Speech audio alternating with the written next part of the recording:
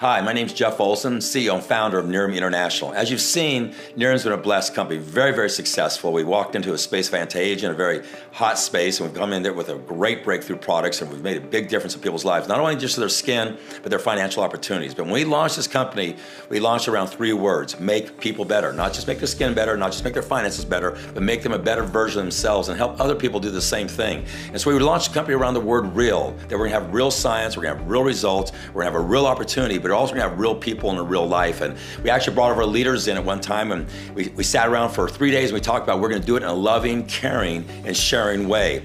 And so what we've done is we started building a culture here at Nerium that's really a culture about not just becoming a better version of yourselves, but giving back. And so for example, Big Brothers, Big Sisters, we, we, we joined up with them.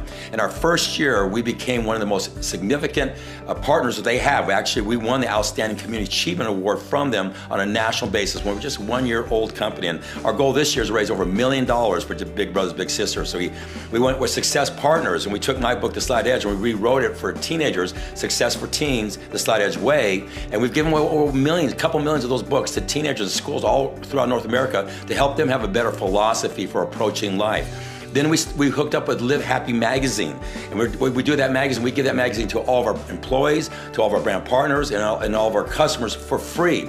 We also build a portal that every one of our customers and brand partners gets for free that we take all the content that we aggregate around happiness and we learn to share that. Because here's what we've learned about happiness that happiness is a precursor to success. Most people have it backwards. They think, you know, when I have my health, my finances, relationship, I'll be happy. It's been proven through academia and research and clinicals that when you become happy, you will have your finances, your relationship, your success. And happiness is not only the precursor, but it's something that's easy to obtain, and it's not something big that happens to you. It's little things that you do. So we really drive that into our brand partners and into our customers out there.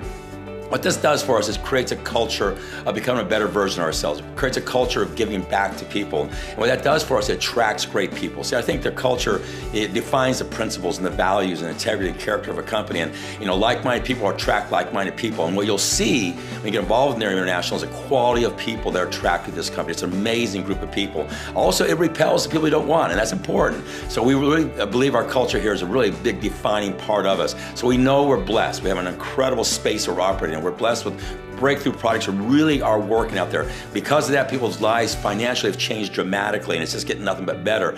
But we'd never lose sight of the fact that we really want to be a company about making people better. We're going to do it in a loving, caring, sharing way and we're going to be a real company. So I invite you to get to know more about Nerium International because there's so much more than a product and a financial opportunity. There really is a company with a big heart here. So thank you.